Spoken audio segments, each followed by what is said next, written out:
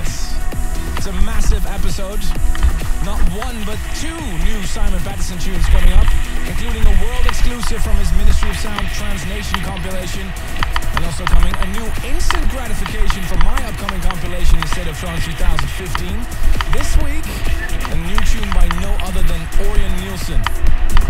And I think uh, I can already guess what next week's future favorite is going to be because the new Ram and Susana is coming up within 20 minutes. And there's lots of talk about the new guy at you. currently doing very well on Beatport. I'll play Carnation for you in just a little bit. But first, Algerian producer Amin, aka Mino Safi, is growing into a trance stardom with his new single on Euphonic Records. This week's tune of the week and featured on the State of Trance 2015. Check out When the Sun Smiles.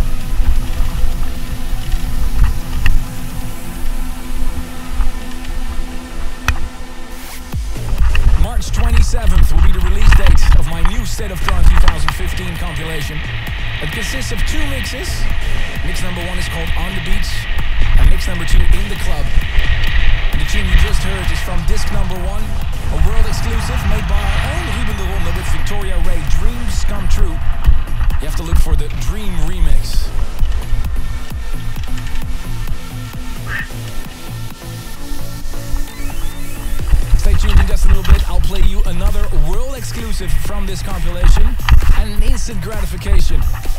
And also coming up, a brand new track from Ram and Susana. Let me know what you think of the tracks I'm playing. We're reading along with you right now. The hashtag ASOT705 and the live track listing is available at ASOT on Twitter. Oh, it's great to hear new music from this guy, Jonas Hamo, Rosetta.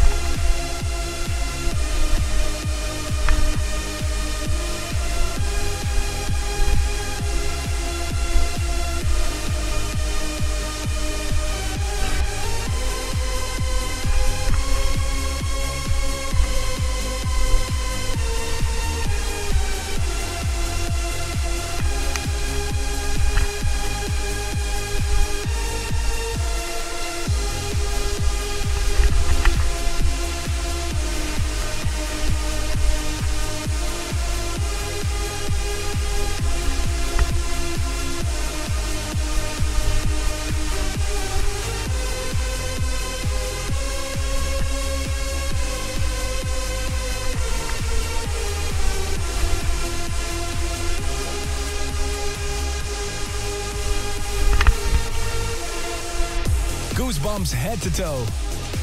I mean, the classic Ramelia just screamed for a follow up. And here it is by Ram and Susana, Someone Like You. Really curious to hear your opinion. Do you think this is as good as Ramelia? Let me know. Use the hashtag ASOT705. I mean, only Ram can get away with a three minute breakdown and make it sound so wonderful.